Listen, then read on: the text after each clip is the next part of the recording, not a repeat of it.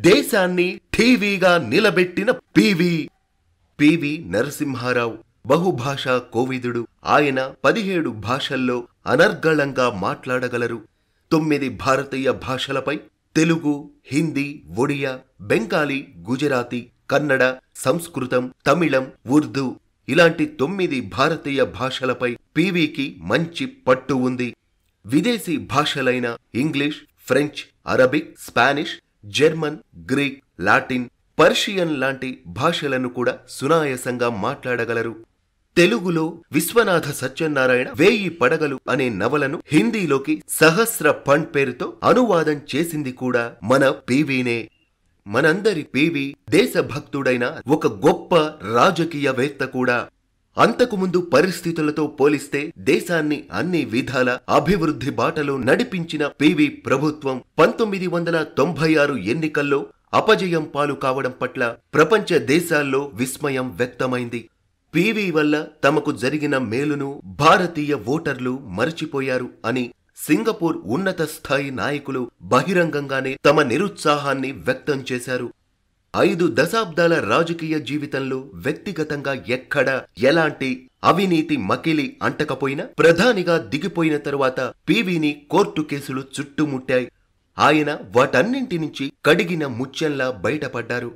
ఆయా కేసుల్లో తన తరపున వాదించిన న్యాయవాదులకు డబ్బు చెల్లించడానికి హైదరాబాదులోని తన సొంత ఇంటిని కాస్త అమ్మకానికి పెట్టారు. మాజీ రాష్ట్రపతి భారతరత్న అబ్దుల్ కలాం అభివర్ణించినట్టు పివి రాజకీయ వ్యవస్థ కన్నా దేశం గొప్పదని విశ్వసించే దేశభక్తుడైన రాజకీయవేత్త పివి ప్రధాని అయ్యే సమయానికి దేశం ఆర్థికంగా దివాలా తీసే స్థితిలో ఉంది.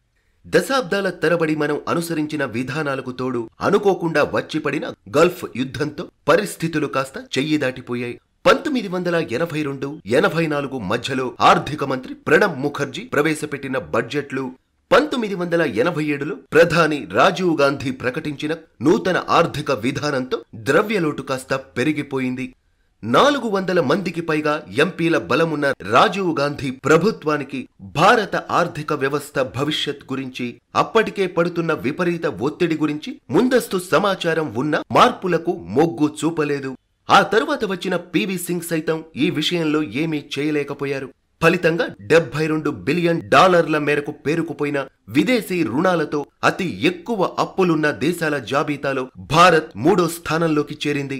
అప్పటికి కొత్త రుణాలను మంజూరు చేయడానికి విదేశీ సంస్థలేవి ముందుకు రావడం లేదు. చంద్రశేఖర్ జమానా నాటికి విదేశీ మారక ద్రవ్యం నిల్వలు నిండుకునే పరిస్థితి వచ్చింది.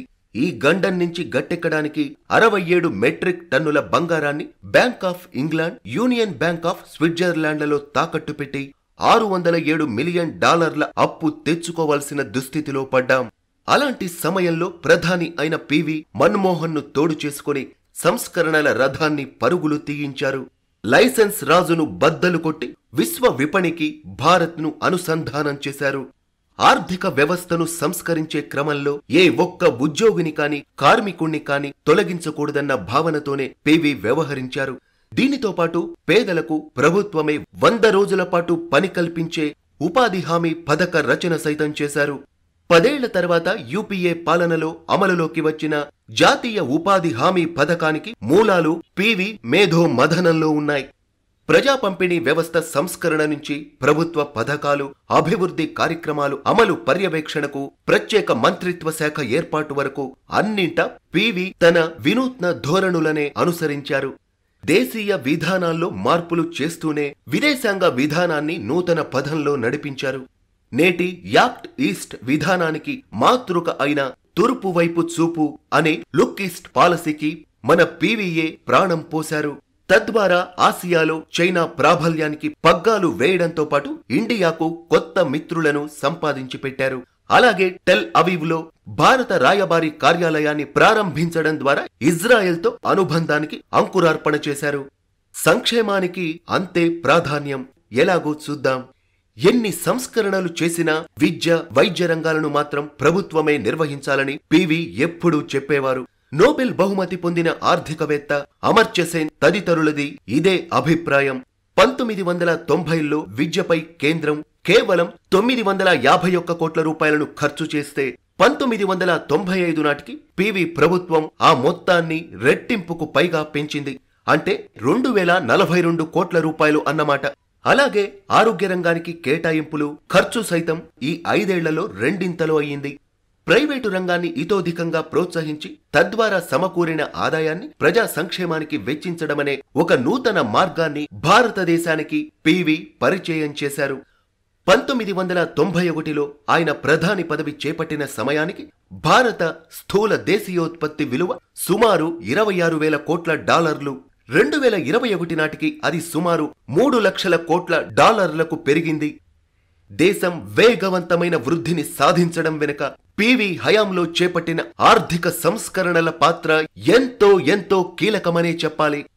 ఇక పివి నరసింహారావు నేపథ్యం గురించి చూద్దాం.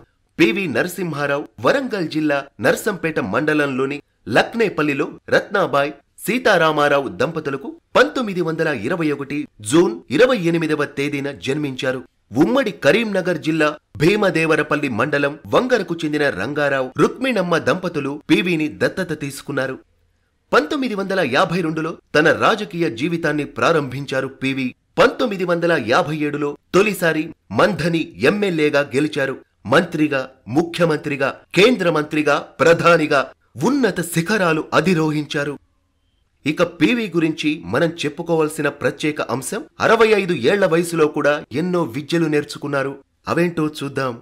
నేర్చుకోవడానికి వయసుతో సంబంధం లేదనడానికి పీవీనే నిలువెత్తు నిదర్శనం.